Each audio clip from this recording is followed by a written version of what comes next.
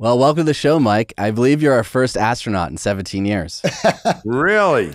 Yes. Well, I'm very, uh, very happy to be the the first guy. Uh, it's all it's all uphill from here. There's a lot of good astronauts out there, so maybe we'll see who else can join you. But thank you for having me. We thoroughly enjoyed the book, and Thank you. I know growing up, Johnny and I had friends who wanted to be astronauts. It was a, a common thing that kids wanted to be back in the day. Now we hear YouTuber, podcaster, content creator. When did you know that you wanted to be an astronaut? I'm old enough to remember Neil Armstrong on the moon.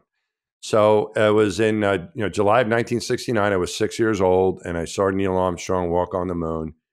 And I not only wanted to be an astronaut, I wanted to be Neil Armstrong. I, I so much I want to be that guy. I want to do that. And uh, all those guys, you know, uh, Mike, Michael Collins and Buzz Aldrin, and then Pete Conrad, Jim Lovell. I, they were they were all my heroes. John Young. So I knew all those astronauts like like I knew baseball players back then, and um, you know, it's kind of cool. I've gotten to know most of them now. So by this time, a lot of them are gone now too. But um, but that's what I wanted to do as a little kid, and it, it really made an impression on me. And I knew it was important, but like a lot of kids want to grow up to be astronauts, as you said, but but it really stayed with me. I thought it was impossible. Though. By the time I was eight years old, I said it's never going to happen. I, I found out I was afraid of heights about that age, and I still don't like heights, man. I just hate them, uh, and I try to avoid them whenever I can. I never thought it could happen. I, my eyesight went bad when I was when I was young. I mean, you know, couldn't see very well, needed glasses at an early age, and thought I could never grow up to be Neil Armstrong, which is which was true. But the astronaut program changed when I was a when I was a senior in college. So I kind of forgot about it until I was a senior in college, and I went to the movies and saw the right stuff based on the the movie, right? So based on the book by uh, Tom Wolfe of the same name.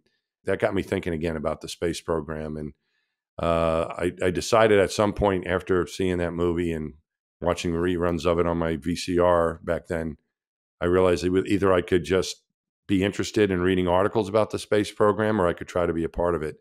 Went to grad school with the with the idea of of at least trying to become part of the space program. I never thought the astronaut thing would really work out. I don't know if you guys can see these like my, my patches behind the wall. Yeah. Like every time I see one of my flight patches, I make sure my name is still on it. But some reason it's like, how could this have ever happened? But that's what happened. And so it happened as a little kid and then as an as an adult, being a senior in college, that I got reignited in that passion. And and I think it really though was what happened to me as a little boy that was always there in my heart and soul and my mind that I wanted to be a part of the space program yeah, that opens up uh, the book talking about the eyesight issue. And I remember when I was a young man and I, I, I, had some thoughts about wanting to be a fighter pilot. And then I was told, well, you have bad eyes, so you can't do that. So I, so I changed my major into being a rock and roller and was able That's to do that. bad. But you didn't take hearing that very well. And that opens the book about obstacles and getting over them. Could you tell our audience a little bit about that? But wait a minute, this rock and roll thing's a pretty good thing too. Do you think you would have? I mean, if your eyes were better, you'd be you'd be a fighter pilot. You think, or would you have, would you have you changed over to to uh, rock and roller eventually? I bet you would have. Well, my dad was a, a rock and roller, and they rehearsed downstairs. So There you go. eventually, it would have been a rock and roll turn anyway. So There you go. All right. So, well, with me, I didn't. You know, I I wasn't uh, talented enough to be a rock and roller, John. So, uh, and I, you know, the other being a professional athlete, that wasn't in the cards as far as the sports that I had tried. So I, maybe there was some hidden talent I had in something else. But uh, no, for for what I, for me, it, as you're saying, my eyesight. So what happened was, is I applied and was was rejected the first time I applied. I just got a letter. The second time I was in grad school at this point. second time I was almost done with grad school, and they would announce it again. So every few years, NASA's looking for astronauts. Still, to, that's the way they do it now. So the next time it came up, I applied again, and I got another rejection letter a few months later. And then the third time, though, by this point, I had gotten my, my PhD and I was down at the Johnson Space Center working, and they called me in for an interview. So when you're an, you're a finalist then, and your odds are getting better at that point. You know, it's about a 120 people they interview over the course in groups of 20 over six weeks. So anyway, I went in there with with with high hopes, but then I failed the eye exam. Uh, I couldn't see well enough, and and you mentioned the thing about the fighter pilot stuff. That's all. done. So if any kids are listening or don't worry about it. They threw all that stuff out. That's antiquated stuff left over from a long time ago, like World War II, when you needed to see the other guy when you were flying, and whoever saw the other guy first won the fight in an airplane, right? In a dogfight. Now they have all kinds of electronic stuff. Uh, NASA doesn't even really have a, a, vision standard any longer. As long as you're correctable to 2020, LASIK is accepted as long as it's stable. It's a different world. But back then, and this is the mid 1980s, you needed to see well. And when I was told that I was disqualified, what they told me was, is that that's it. You're disqualified, and we will not even read your application in the future. So that was pretty disappointing. And I said, "Was there anything I can do?" Because I had heard that sometimes people have something that they're concerned about. Uh, and they're able to get an operation or get it checked out or provide more data and uh, and get it overturned. And they're like, no, because your eyes are what they are. We don't accept it. I don't even know if LASIK uh, existed. And they're like, you're done. And uh, I thought about it. I was like, there has to be a way around it because they didn't want any medical procedure, any surgical thing done or anything. So um, I found out about something called vision training, which was done with kids, right? It was like a kid thing when their eyes are still developing. If they have bad eyesight, there's things that doctors can. So there was this doctor's like a pediatric optometrist in the, in the neighborhood, more or less, that did this. So I made an appointment to see her, and I said, "Please, I can be really immature. You won't know the difference. Please help me." She said she didn't think it was going to work, but it, uh, you know, it, it it did. I was able to pick up a couple lines. It's like training your eyes and your brain to see better. I just needed to feel like at least I could try. I think the way I look, the way I was looking at it is that as as long as I was trying, I was okay. To to give up, you know, the first chapters you said the book starts the first the first chapters one in a million is not zero, and I came up with that when I was in grad school after I got my second rejection. Was that hey, this is impossible, and I say, no, it's not really impossible. It's like one out of a million. One out of a million is a non-zero outcome by definition. I was up at MIT. There's a lot of math going on up there, right? So I even verified this with the math people. And they said, yes, it's a non zero outcome. But as soon as you give up, guys, right, that one at the end of those zeros turns into a zero and you know the outcome with certainty, you will not be successful. And uh, so that's that to keep, you know, maybe there's a chance. But also, I think looking back on it, it was just to be able to try, I think, is success. Not giving up is, being is being successful. Once you give up, that's when you're defeated. And I didn't want that to happen. So I was going to do everything I could to figure out a way to, to try to remain in the game.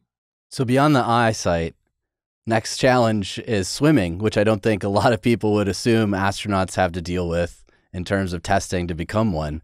Yeah. How did swimming come up and why was that a challenge for you? Yeah, AJ, just you said that you wouldn't think that you'd need to swim to be an astronaut? Yeah. That's what I thought. well, luckily they didn't it wasn't part of selection. I mean, I'm glad there was no, you know, all right, everybody jump in the pool. During selection, it was after I was selected and I think they didn't they didn't bring it up maybe because they figured they could train us to do that if we couldn't swim, but or they just figured most people can swim. You know, like it's kind of like as I say in the book, like making a grilled cheese sandwich. There is some life skills that most people should, you know, probably have by the time they're 30 years old or whatever. So uh, yeah, I op- I got my packet of information after I was called on the phone that I was going to be an astronaut, and the the the greeting letter was congratulations, and in paragraph two was please practice your swim skills. So I guess they did have trouble with this in the past. And they kind of explained that, that sometimes people come unprepared for the swim test. And you need to be able to pass a pretty rigorous swim test in order to go through water survival training with the Navy in Pensacola. And I, I guess what happened is they were sending candidates down there because you're hired as an astronaut candidate. It's the astronaut candidate program, or as they called us affectionately, ASCANs. So I was an ASCAN at this point. You know, so they're reserving right to fire you within two years for if you, you know for whatever reason. The swim test was going to was going to allow us to enter this course with the Navy so we could learn how to survive in the water, get out of an airplane over water with, with an ejection seat aircraft. We were going to be flying as a high performance jet, the T thirty eight. Also, we were on the shuttle. There was a bailout scenario for an abort. Wouldn't be pleasant, but if you had to get out of the spaceship, you would bail out of it over the ocean. So you needed to be able to survive in the water until they would come get you, and uh, a helicopter or whatever's coming to get you. So that was a course that was required before you could go through the pilot training, the the T thirty eight training, and the uh, or the shuttle training. So it was kind of like the first thing we were going to do, and they they told, they gave us the requirements, and for me it was pretty serious. I mean, for most people who can swim, it's probably not that big of a deal, but it was it was a it was a series of laps, I don't know, a couple hundred yards with you. You had to wear your boots with and your and your flight suit and a helmet because that's what you would be wearing when you ejected out of the airplane, for example.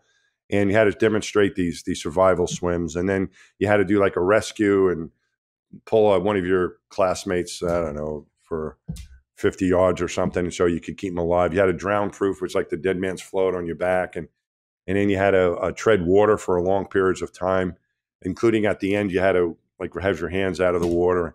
So I was like, oh man. So it was mainly was the the swimming strokes and all this we had to do that I practiced, and I was feeling okay about it, but I was afraid I was going to embarrass myself. But that the first week of work was mainly administrative stuff, and then on Friday of that week before we went home, you know, this is the first time our class is all together.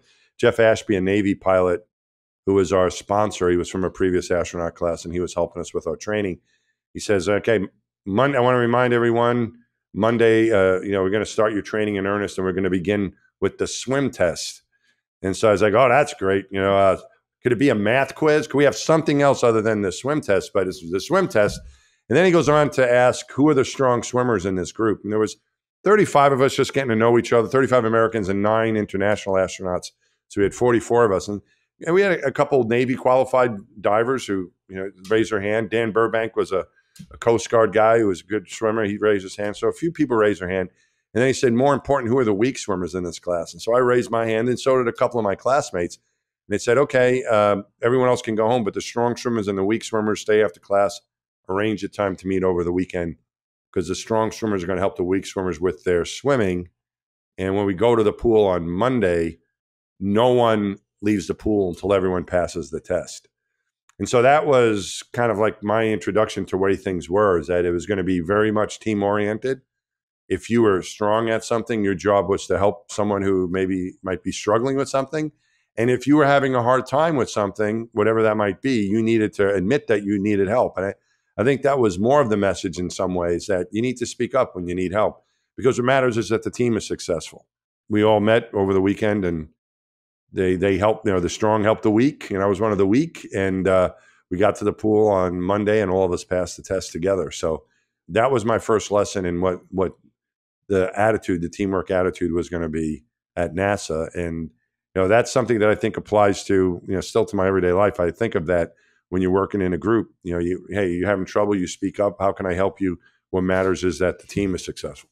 Well, what we're seeing is the the data shows that we now feel more isolated than ever due to our working from home and everything else that that comes with that, and and all the technology that that we have that we engage with.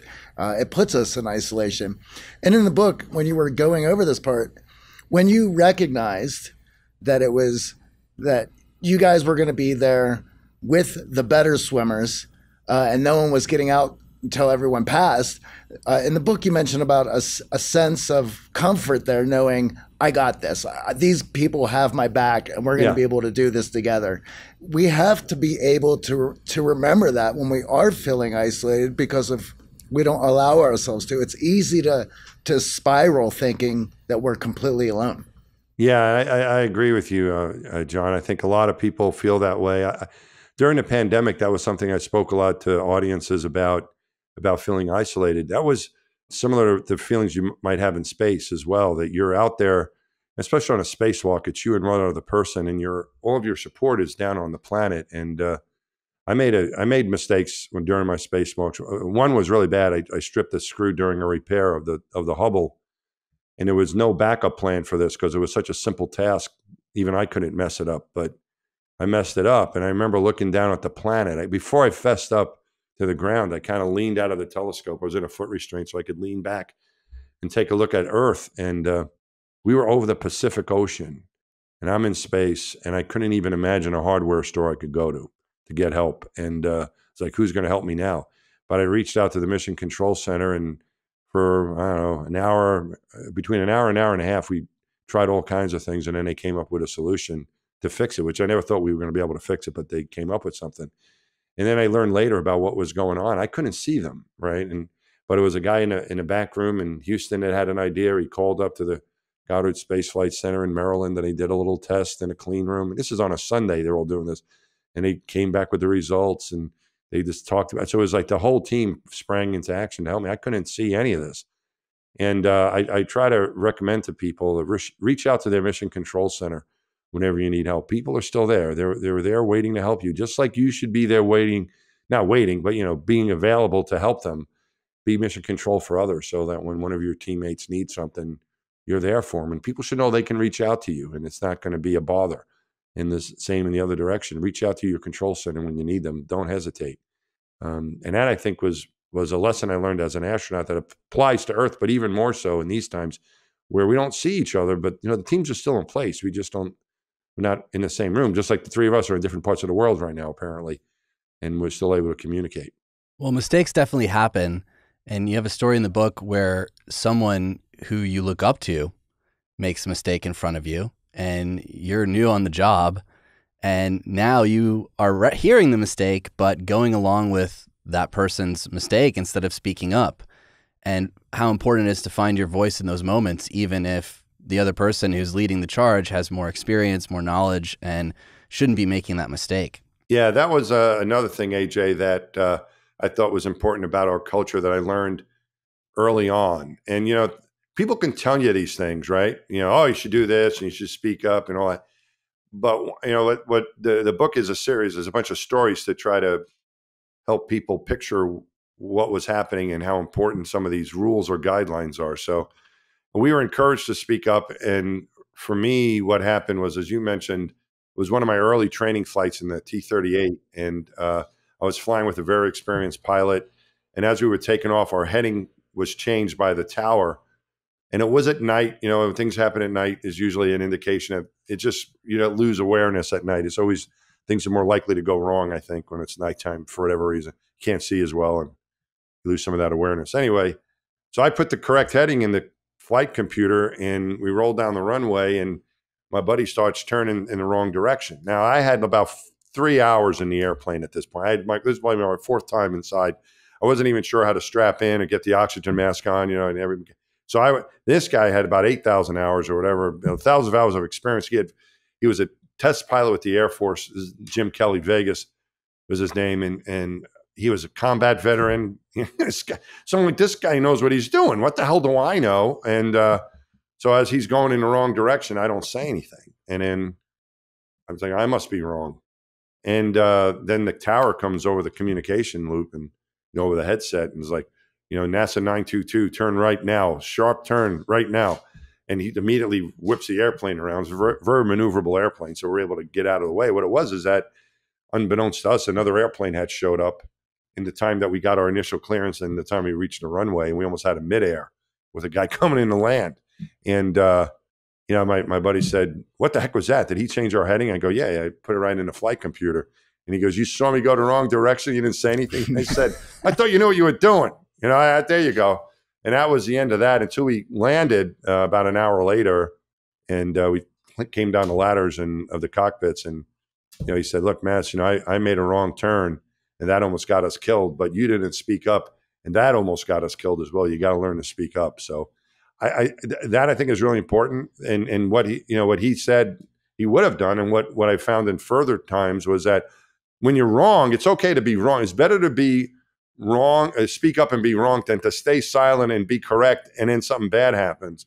And in, I never did that again. And because I, you know, hey, especially when you have a close call like that, you learn your lesson. But hopefully, it doesn't take that for people to understand um, that it's it's important to speak up. But it's all, I think it's more important for the leadership to encourage that. You know, there was you know, and thank you is always a good thing to say in the cockpit, is what we would say. So if I would have told Vegas, hey, you're supposed to be going to, you know, heading 250, and he'd be like, no, no, they changed. He would explain it to me, but, you know, thanks for speaking up. Is thank you is always a good thing to say in the cockpit because sometimes, especially new people, are going to say things that really aren't correct, right? They may have an idea that's not going to work or we've, we've already tried that, but you don't yell at them. That's not the way it was with at NASA. It was, you know, you always, you always try to encourage them. Says, oh, you know, this, we can't do that for this, this, and this reason. But thank you for bringing that up because the next time they might have the good reason. And if you react badly to the bad idea, then you're not going to hear about the good idea. People are going to shut up. I think it was always important, especially for leadership, to encourage that. And that was our culture because we had to be that way, or else bad things can happen, like you hit another airplane.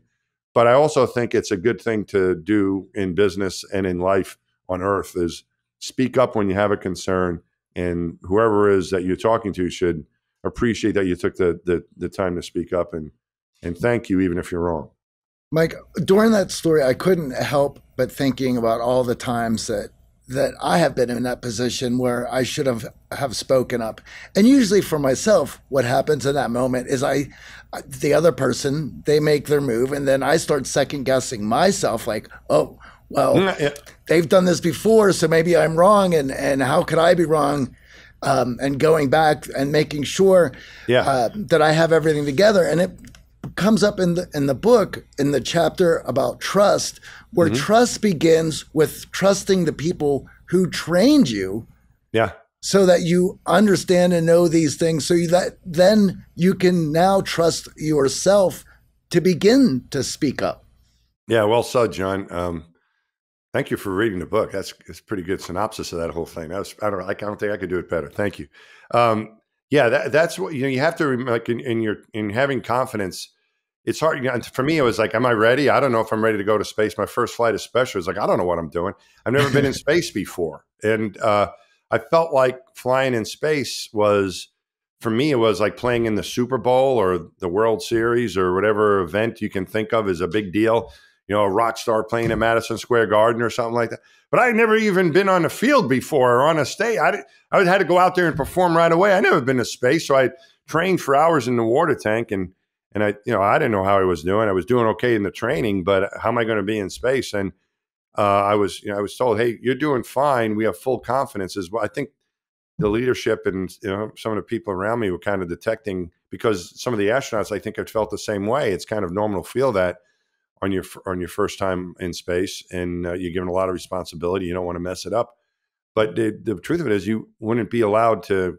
I wouldn't. They wouldn't have let me go if I wasn't ready. They're not going to roll the dice with the Hubble Space Telescope. They were to, they had confidence in me. I just need to have confidence in, my, in, myself. So sometimes it might be hard to have that confidence in yourself. But You have to realize, hey, I'm, I'm being trained by people who know what they're doing. And that training could be lots of different things. It could be a formal training, or it could just be your life experiences, or whatever it is that got you to that moment.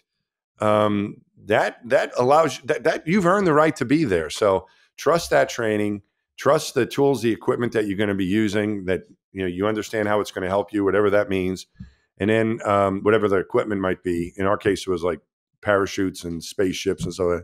And then and then the the other one is trust your team. We rarely go into things alone and related to what we had said before it's a you know space flight was an open book test. My friend steve smith told me that you know right before my flight remember if you need help you ask for it. And that's that's the way it is a lot of times on earth. And like as we were saying earlier it's important to, to know they'll be there for you. And then those things allowed me to trust myself because everyone's like, what, what do I know? Well, as you said, John, the experts are saying I'm okay and they're not setting me up for failure. And I think that that was certainly the case with the Hubble Space Telescope. They were not going to take risks with that important world asset uh, of me just not to hurt my feelings. Um, but I think that's the way it is, even in little things that we might think aren't as big deals on Earth. That, but they could be big deals for us, right? Or because it may not be the Hubble Space Telescope, but it might be a, a pitch you're going to give for a, as an entrepreneur or a big meeting or a proposal or whatever it might be and you're like well what's going on here? Do, am i am i really am i going to am i okay to do this? Just remember those trusts you know trust your gear trust your your training trust your team and that leads you for the big one which is trust yourself. Well that brings up a very um, a big point which is it takes a lot to build trust and when trust is there you are capable of wonderful, amazing things, such as going into space and coming back in one piece. However, as powerful as trust can be when it has been built, it's also delicate and can easily fall apart. And in the story about Columbia, it took years for everyone on that team to, to gain the trust back due to that accident. Yeah. So, with that, do you have any pointers of what to look out for so that the trust that you work so hard to build is not subverted or undermined. I think the trust is there in our case with the you mentioned the space shuttle accident. Uh, as I said, trust your equipment. You know, so I remember walking onto Space Shuttle Columbia, thinking, oh, "Okay, I know I, all the workers are really uh, diligent, and I know they worked really hard, and this is going to be okay." Well, on the next flight at Columbia, it didn't work out that well they took some debris on the way up from the external tank foam that came off, and they didn't. It it put a hole in the wing that no one knew about, and we ended up losing the crew on the vehicle. That was a bad day when that happened. That was a horrible, worst day of my life. Um, I I think that you know things are going to happen. I I I don't know if I fully appreciated it at the time when it first happened, but I started to learn of uh, how much people were affected by that who were not astronauts. People who were not in the line of duty, I think, took the accident as bad or possibly even worse. They really felt responsible for what happened compared to the way the astronauts might have felt about it. I mean, we lost our friends, and this was not a good. It could have been any of us, it, but but I but the impression I got from the folks who were in the control center and in the space shuttle program, they felt directly responsible, and they felt horrible about it. So they knew that things had to change, and when that happens, it could I, it could have affected our trust in in them with the team and the and the system. But there was no uh, there's no sugarcoating anything and a full investigation was done and everyone admitted hey a lot of things were, uh, were wrong. When you have a, a major disaster like that it's never one thing it's a series of things both technical and non-technical and uh, there's going to be plenty of blame, blame to go around and everyone has to be open to hearing what happened everyone bore some responsibility in this and uh, we are going to stick together as a team to get through this and fly again safely and finish out the things we wanted to do with the space shuttle program. And the way we reacted, it's not that you can't you can't prevent accidents, but even with your best efforts, bad stuff is going to happen. You don't. No one wanted a shuttle accident to happen, but stuff happens, right? I mean, you never know. It could be a, a pandemic hits, and you know, no. What are you going to do about that? You know, or whatever else happens. Things can happen, but it's how you react to it. And so I think the way we reacted to it with diligence to make sure that we understood what happened, put things in place to make sure it never happened again. And everyone came together without pointing fingers, throwing people under the bus. And I think that's the way the team should react when it hits adversity. You know, it's easy to be a good team member when everyone's winning and high fiving and, oh, this is great. But what happens when you have a bad issue? Something happens with the product you're trying to sell or the sales pitch doesn't go well or a pandemic hits or something happens that there's nothing you can control uh, with about it and it just happens what do you do then do you start pointing fingers and calling people names or do you come together and i'm really proud of the way the team came together and so we it, it tested i think the trust we talked about but the way we dealt with that problem i i, I think built the, the team uh, in such a way to make it even stronger, built up the team to make it even stronger than it was before. I think the powerful takeaway in that is understanding that finger pointing is not only building distrust, but it doesn't serve the greater mission. You know, everyone no. involved in that mission was looking for success, was working hard for success. No one went in purposely making any mistake, whether it was technical or, or human error was involved. And so often finger pointing might absolve us from the blame and the guilt, but it certainly doesn't foster a great team environment. Yeah, I, I agree. I am amazed sometimes at uh, sports teams where something happens at the last minute and they blame the person who made the, the mistake. But if the game is that close at the end, if the event is that close at the end, there were a bunch of other things that happened well before that that put that, you know, and I've seen some, I've seen sports teams stick together and not blame the kicker for missing a field goal and I've seen other stuff where they just say it was this guy's fault and blah, blah, blah. I'm like, the guy who's saying that is the guy that two minutes earlier did something really bad that caused, that set his buddy up, where that mistake wouldn't have mattered if this guy was doing his job earlier. So, yeah, I'm, I'm amazed, but I, I don't think that's a good way for, that's not a good way for a team to behave. You can't, you can't do that. You have to stick together not only in the good times, but more importantly in the bad times. I think that's the mark of it. You find out who you are in the bad times, not in the good times. I think that brings a, a good segue into a, another part of the book where uh, it's titled, Well, Things Can Get Worse. And you talk about Hoots Law. And yep. could you tell our audience a little bit about Hoots Law, please? As a, as a rookie spacewalker, I was training in the pool one day and um, and I wanted to show everybody how great I was. You know, I'm the greatest spacewalker, and I was the first rookie to, to get a chance to be a spacewalker on Hubble. There were three previous Hubble missions, and he always had an, an, an experienced astronaut who had flown in space before. At first, it was you had to have spacewalk experience, and then they loosened it up a little bit. At least you had to been in space before. So I was the first pure rookie that was going to get a chance to spacewalk on Hubble. So I'm trying to alleviate everyone's concerns and show how good I am. and moving really quickly in the water. And we're practicing like we would in space, you know, in a big giant pool. And, uh, and I, we have a tether that we're that we that always is attached to us. It's a safety tether in case we come off of structure. You start floating around. This thing is like a fishing. It's got a tension on. it. It's a big reel that's on your side. It's going to pull you in back to safety. But you don't want to rely on that. You know, as you're you know flipping around and this thing is reeling in like you're a fish. So you don't. It's not. But it's there as a last resort kind of thing. Anyway, so it also is an obstacle. You know, if you don't keep track of it and I got this thing between my legs somehow, and I'm like, ah, crap, because it's and I'm floating around in the water, and I'm like, this is like really a silly, bad mistake. Let me try to fix it. So I I tried like kicking it and going on my side to get it out from between my legs, and it ended up going like around my helmet, like down my back around my helmet, and then I see it in front of me somehow, and it's going around and, I, and like moving, and like so you know, I was like tangled in this web and uh, I still didn't really say anything until someone, one of the instructors who's watching this, because there's cameras everywhere, was like, hey, uh, Mass, need some help? I was like, yeah, I guess I do. And then my buddy Jim Newman came over and was really impressed with what I was. If I was trying to do it, I couldn't have entangled myself like that. So he kind of moved me around like a giant balloon in the water and, and got me untangled. And then afterwards, he says, "How the heck did this happen?" I go, "Well, you know, I had this. I had one snarl, and then I made it a lot worse because I was trying to hide it." And he said, You got to remember Hoot's Law. I go, What's that? And he said, No matter how bad things are, you can make it worse. You know, you don't want to make a bad situation worse. He also said, Hoot Gibson also said, uh, Nothing is uh, often a good thing to do and always a good thing to say. Anything of that one.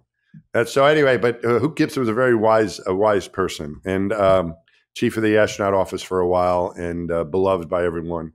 That was a pretty good thing to remember when you make a mistake, it can get worse, no matter how bad it is, you know. And you know, you think, and and that happens. And usually, strike one could be really bad, but it's not strike three yet. But if you have, when you make a mistake, I mentioned like when I when I stripped a screw on the telescope, I actually like thought of Hoot's law, like, okay, this is really bad.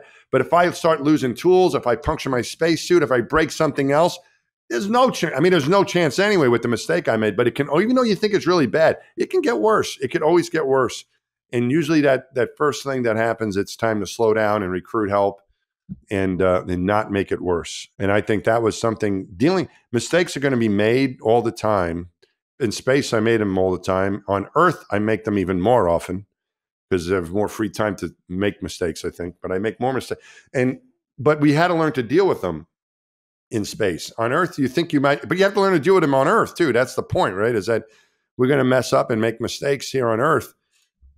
The consequences of another mistake might not be life threatening like they could be in space, but still, it's it's uh, could be threatening to your business or your, your work or your family situation too. You know, we're having conflict in our families even. So, yeah, not Hoot's law. No matter how bad it is, it could always you can make it worse. It could always get worse. Well, in reading that chapter, the thing that came to my mind was how we chase perfection. And we also have this idea of mimetic desire, where we're trying to recreate these pictures that are in our minds.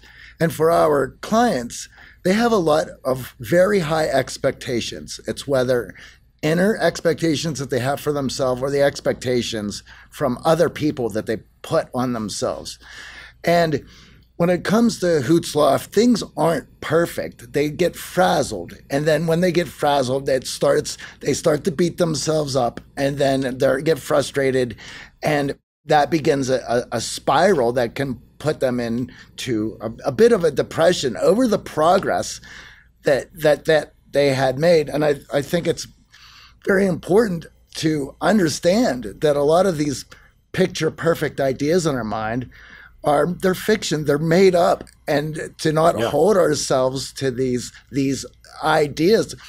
And w- when i was reading the chapter it stuck at least it, it, came to me that your ego had got in the way of i don't want the other members to see that i got this tangled absolutely. which then put you in a rush uh, and which made the situation worse and all because there was something there that you were trying to protect, either the picture perfect for your teammates. Right. And the uh, the result was not good. It's slow down, not to make you know, don't make it worse. But also, when you going back to when you need help, you need to speak up. mistakes are going to be made. Some are small, some, you know, little things you forgot to do or messed up. The tether snarl, space shuttle accident, some are huge, you know. Yeah. But uh, so some are big, some are small, they, but they're going to happen. And you have to be able to deal with them. And, and so it wasn't that you're trying, we were never, I don't think ever, John, I don't think we are ever trying to reach perfection. I think what we were trying to realize is being able to handle mistakes well. And because uh, you're going to make them. And so another thing I write about is the 30 second rule. You're going to make a mistake, give yourself 30 seconds for, of regret, beat yourself up, and then move on. You know, it's okay to be really pissed off at yourself for making a mistake, but take 30 seconds, and that's all the time you're going to give yourself to, to be uh, to be miserable because you don't have hours or days to be miserable because that takes you out of the game. And we couldn't do that in space. And I would say the same thing on Earth in your business. You can't, you don't have time to with your family or your business to take a couple days off to be miserable. But I, I, used to do stuff like that. I would be so pissed off at myself when something bad would happen that I would, you know, I'd be on my mind and it would kind of check out. And that's not a good way to to operate. So I think what we what we learned, um, and still in the astronaut office, the same thing. There was a, Woody Hoberg's a friend of mine who was selected 20 years after, actually 21 years after me, he became an astronaut in uh, 2017, and uh, he was just in town. Uh, he, we had a downlink with him with my students when he was in space, and he came back to Columbia, and we did an event together. And the students asked him, "What, what was the most important lesson you learned as an astronaut?" And I, you know, I just let him answer, and he said, "I learned how to deal with my mistakes." You don't you don't have to learn how to make mistakes because no. we all can do that on our own. yeah. But it's how to deal with them, you know. And part of it is fessing up. It's all right. I made a dumb move, but I need help here, or else it's going to affect the mission. You cannot keep it to yourself. You have to fess up. So fess up. Don't make it worse. Thirty seconds of regret, and let's try to become part of the solution. Well, yeah, I'd like to dive into uh, the the protocol that you have there for the 30 second rule because accidents happen, mistakes are made, things don't go as planned. You have high, high expectations that you fall short of, and I have seen people ruminate on these for days to weeks, sometimes months or years. yeah. And in the in the book, I was so happy to see it's like, hey, we got 30 seconds of regret and we're moving forward. Now, for a lot of people, they're like, well, 30 seconds, that would be great if I can get through that. But what does it entail to move through that 30 seconds? So could you go through that for our audience, please? It's okay to be disappointed with with your mess up, the thing you mess. up. You're going to mess things up and it's okay to be mad at yourself, but you, uh, uh you, you to, to, wallow in that misery, it's not going to be helpful. And we did not have even a minute. We did not have seconds to spare, a minute to spare. But I would argue it's not just in space; it's on the ground too. I mean, life is too precious for you to be going through it miserable because of a mistake you made. But I would hear, you know, leave mistakes in the past, let it go, flush it, all these things. But how do you do that? You know, and the way that I was able to to be able to to do that, to move on was this 30 second rule. I learned my, my crewmate Megan McArthur told me about it, that she learned it from CJ Sturckow, who was a Marine uh, pilot in our office. He called it 30 seconds of remorse, where you beat the crap out of you. You made a mistake. it's really embarrassing.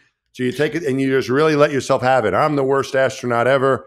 I'm going to be known for setting back astronomy for years. The textbooks will say we wouldn't know the age of the universe, except Mike broke the Hubble Space Telescope.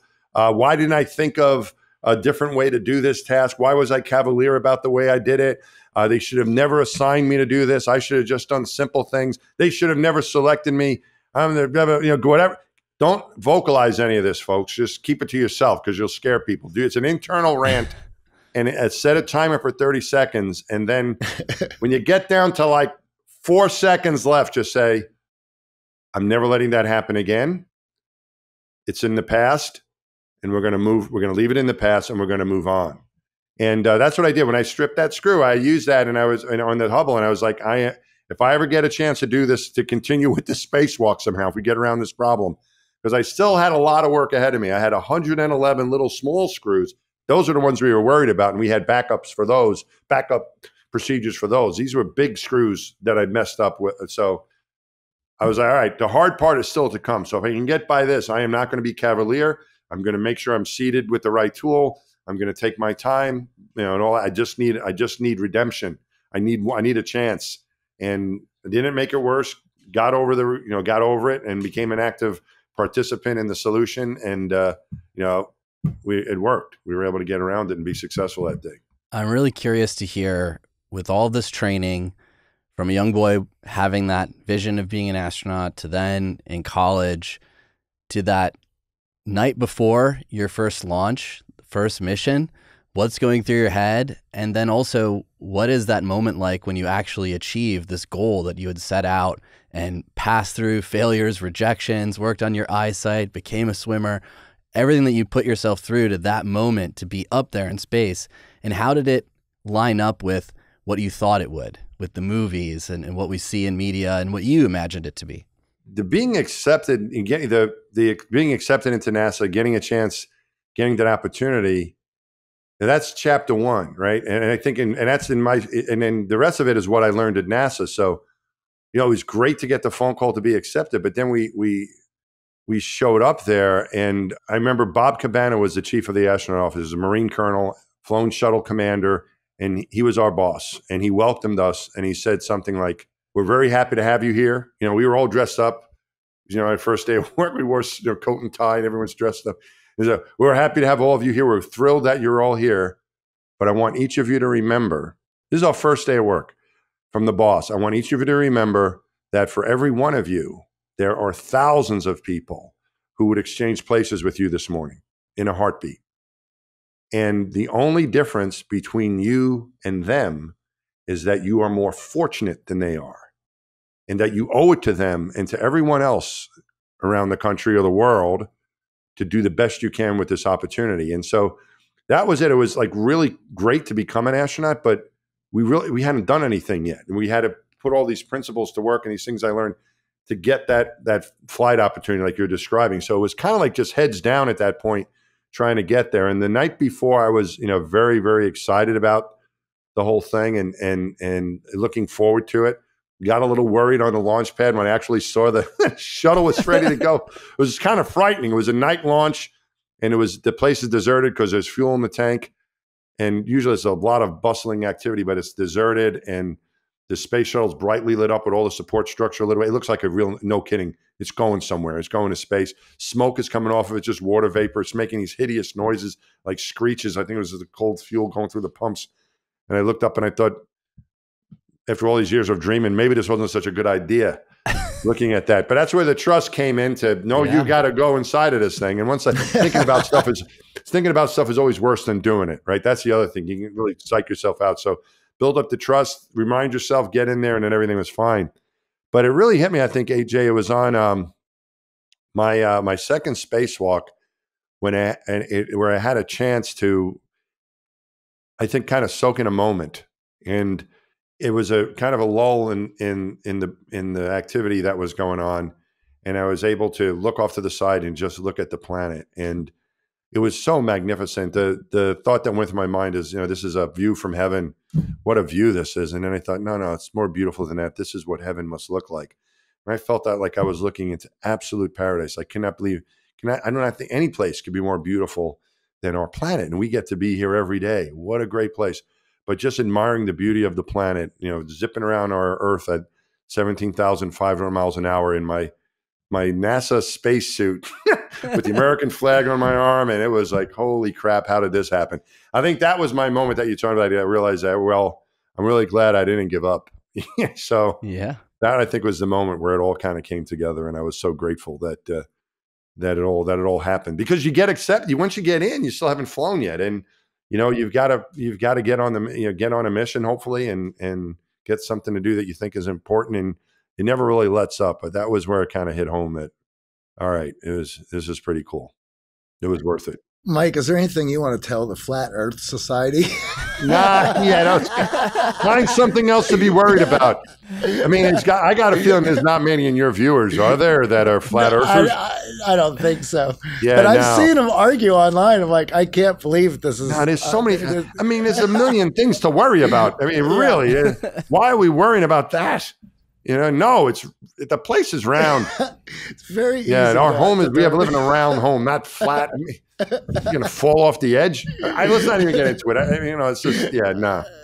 now, was there there anything that surprised you about that experience of being up in the shuttle and, and on the mission? I think one reason, I, one thing was that I felt I was surprised at how well prepared I was. And I don't know if that happens to people too. You know, we think something's going to be really, oh, am I ready for this? And then it, you know, the the the um, the work went, you know, kind of went. Uh, uh it, it felt na- even making the mistakes.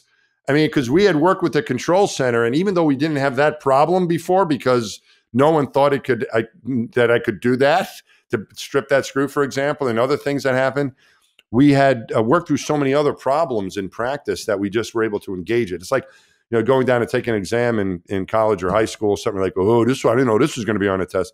But hopefully you're prepared doing other problems and you can kind of apply that same technique.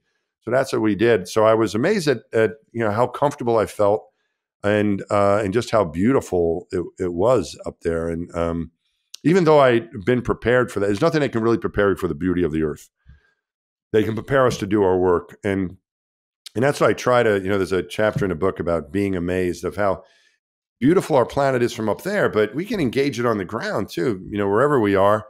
Uh, you know, you're out there in a beautiful place in California. John's in a, in a beautiful place down in South America now. But yeah, but, but you know, we're, we're in these, and I'm in New York City, and and there's a beauty to all of it. And sometimes it's natural beauty, sometimes it's the buildings around us or the people, or whatever it might be. And I, I think that it's important to take that that little time out. And so I was surprised by the beauty of the planet that I saw, but I it, it stayed with me. And we are living in a paradise. I, I didn't know I would react that way, but that's that's the way I felt that we are so so lucky to be here. And you're now a member of a very unique club, extraordinary club of astronauts. Tell us a little bit about the camaraderie after the missions are over and now at this stage of your career, it sounds like you're interacting with young astronauts and there's training. So, what is life after being in space like? It's actually pretty good. Um, uh, I, I, enjoy what I'm doing now. I, I, I like telling the story of space, and NASA I, I gave me opportunities. I think a lot of my fellow astronauts weren't that inclined to talk to people about what was going. I mean, it, it was part of our job, but I, I really liked it. I thought it was a very important job, part of it, and I like interacting with people. And now I had something that they were interested in finding out about. I mean, you guys are having me on your podcast for yeah. heaven's sakes, right? Because I was I got to do this cool space stuff, right? So it's given me the excuse to be able to uh, to to do things like this, to share these these things. That's why I wanted to write the book, because I'd learned so much in leadership and perseverance and and teamwork. Um, and I was kind of shocked after I left NASA of how much of those rules that we had, these rules of engagement, more or less, the way we operated and the way we took care of each other, how much of it applies to everyday life and especially to business. Know, I do a lot of relatively a lot of, of keynote speaking to various businesses, and they're, they're, having concerns about mergers and teamwork and people working together and and uh, perseverance and dealing with bad news and change and AI and all these things which we had a certain way of engaging the world when when problems occurred and when new things came up and programs changed and bad news happened and whatever that those rules that we had that worked for us in space because we had to be safe and successful also apply to business. So now I, I enjoy doing that the book is part of that of course and getting a chance to talk to you guys i really appreciate it you know i really like doing that and i teach at columbia so it's been it's it's been it's been fun in that in that regard. I do some TV here, and I got so NASA like uh, gave me some opportunities to be on like the Big Bang Theory TV show. Yeah, I got to to be on that a few times, which was cool, and uh, it it just it, it, to me it was another way of of being involved with the space program. And uh, you mentioned like the getting to know the the guys who had left. What was I didn't there was a lot. I, I met Neil Armstrong and got to know him when I was an astronaut, and Alan Bean and John Young, some of those old timers but I've gotten to meet a lot more since I be, since I left. I think what it is is now being like outside, you're kind of jealous of the people that are still doing it. So it's like eh, it yeah. feels like a different club. You know, it's like ah, those guys, what do they know? You know, they're spoiled now. They don't have to fly a space shuttle.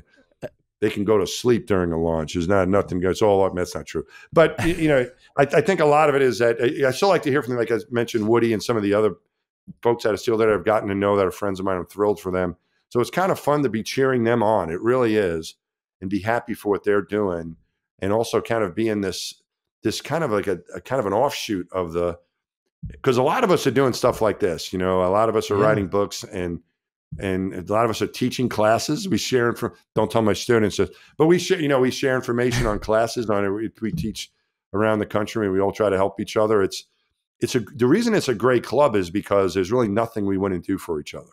And that goes even for some of the new folks who I don't know. If they're coming to New York and I get a chance to meet them, you know, they're my brother or sister. It, it doesn't, it, it is no yeah. questions asked. And uh, that is that is what makes it nice. And I think again that those are, those are things that don't have to be unique to being an astronaut.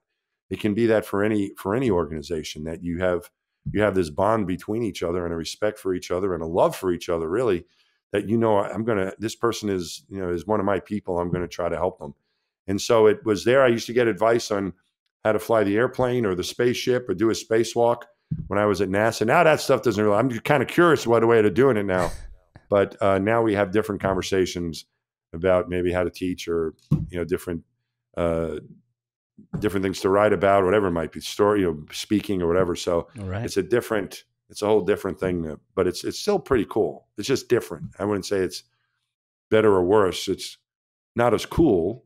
There's no way. But I knew that was up. You know, that wasn't ever going to happen again. I don't really know you can get anything cooler than being an astronaut, but but it's not it's not bad being a former astronaut. So Thank you again for stopping by. We love the book. And our last question for each and every one of our guests is what is your X factor? What do you think makes you unique and extraordinary, Mike?